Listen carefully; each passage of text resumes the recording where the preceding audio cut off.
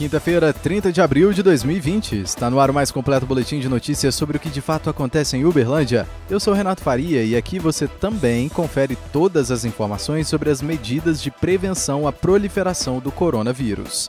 Nessa véspera de feriado, a gente se despede do mês de abril com os seguintes destaques. Rádio Nossa Cidade. Mais investimento na saúde. Prefeitura anuncia novo centro de especialidades odontológicas. Progressão por mérito profissional de 2015-16 é paga a servidores inativos. Futel constrói fraudário e novos banheiros no Parque do Sabiá. E ainda você confere os destaques do Cultura em Casa. Vem com a gente essas e outras notícias a partir de agora na Rádio Nossa Cidade.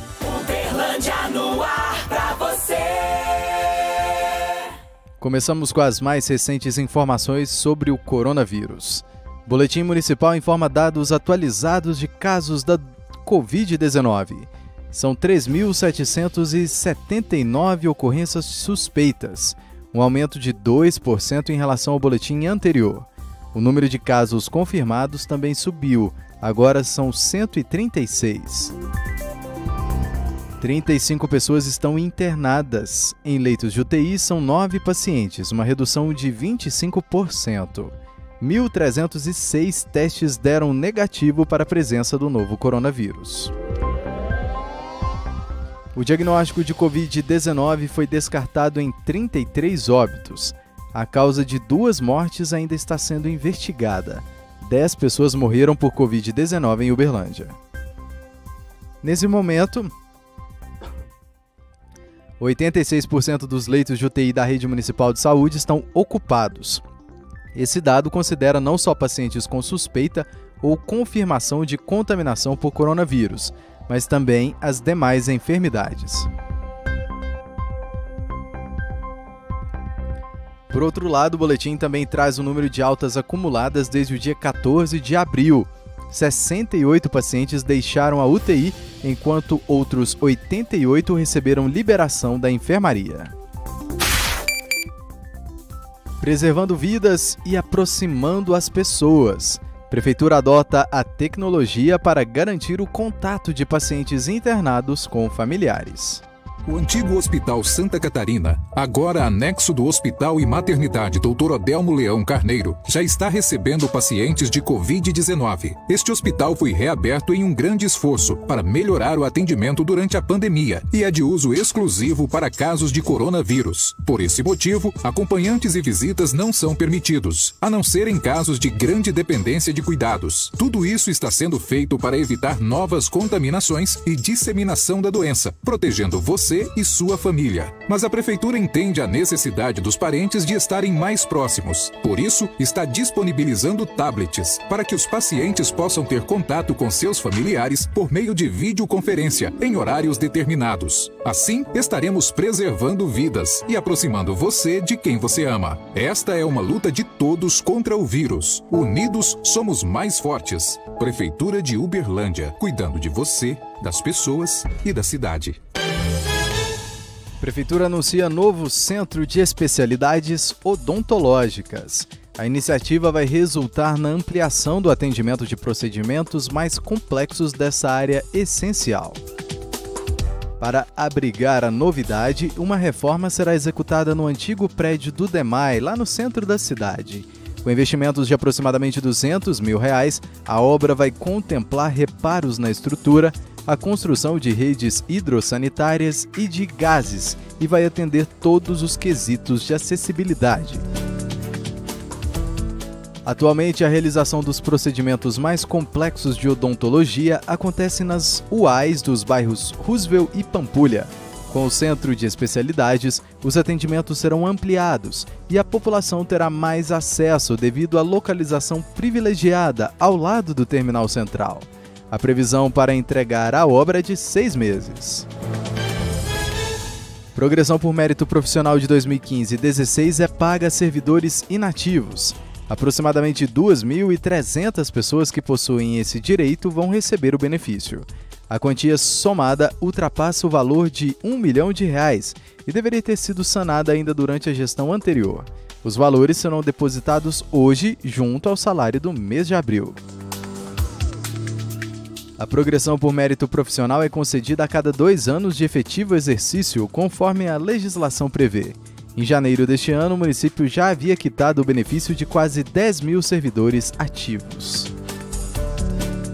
Desde o início de 2017, a Prefeitura tem se reorganizado em diversos setores, incluindo o funcionalismo público. Já foram colocados em dia os salários e o 13º, as férias e agora, como eu disse, a progressão por mérito profissional dos servidores inativos.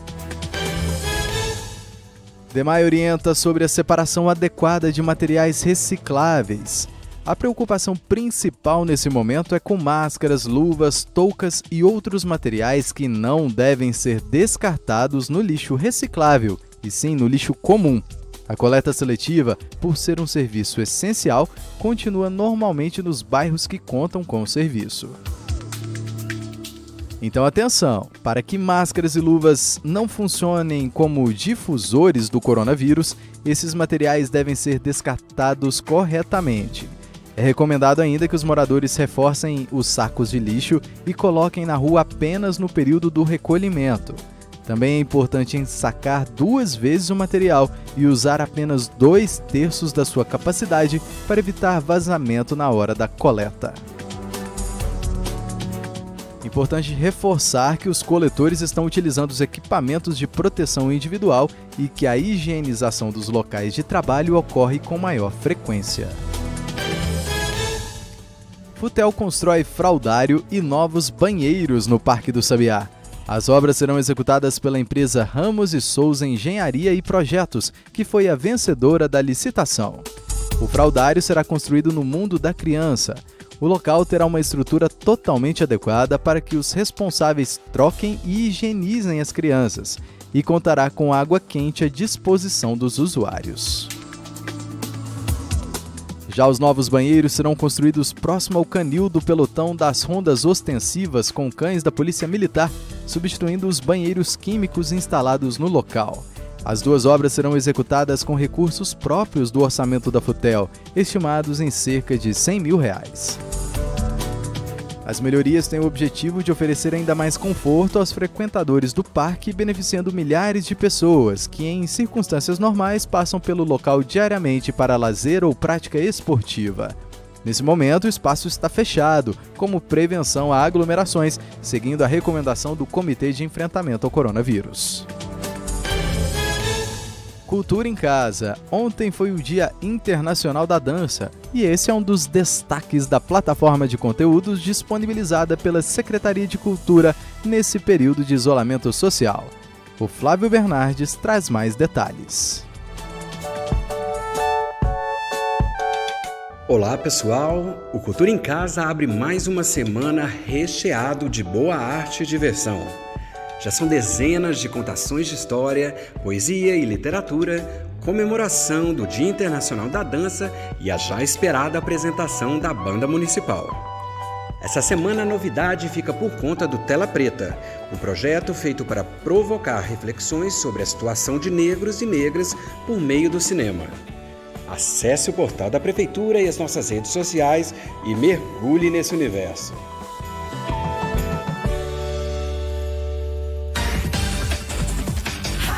nossa cidade.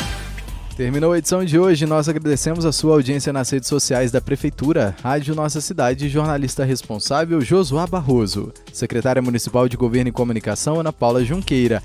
Amanhã é feriado, então a gente volta só na segunda-feira com mais notícias. Claro, eu espero a todos vocês um abraço e até lá. Fica por aqui mais uma edição do programa da Rádio Nossa Cidade. Continue conosco no portal da Prefeitura e nas redes sociais.